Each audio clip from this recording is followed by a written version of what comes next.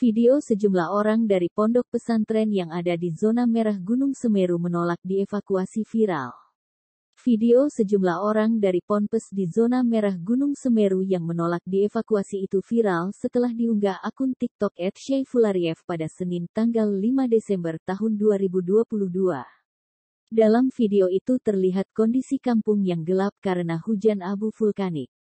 Sejumlah tim penyelamat pun menyisir rumah untuk mengevakuasi korban. Tim penyelamat lalu mendatangi sebuah rumah sekaligus pondok pesantren. Terlihat sejumlah orang pondok yang berdiri di luar rumah.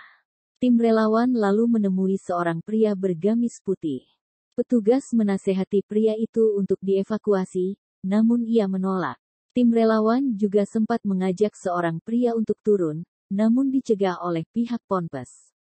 Dalam unggahan itu dituliskan jika video itu direkam pada Minggu tanggal 4 Desember tahun 2022 di wilayah Supiturang dan termasuk kawasan zona merah. Unggahan ini pun mendapat banyak komentar dari para netizen. Sampai berita ini ditulis belum diketahui pasti nasib para santri. Sebelumnya, Gunung Semeru yang ada di Lumajang, Jawa Timur mengalami erupsi kembali tepat satu tahun setelah erupsi besar Gunung Semeru pada Desember tahun 2021 lalu. Erupsi ini berupa guguran awan panas yang mengarah ke sisi Kebokan, Kecamatan Candipuro dan sisi Lanang, Kecamatan Pronojiwo. Akibat erupsi ini sekitar 2.219 harus mengungsi. Terima kasih sudah nonton.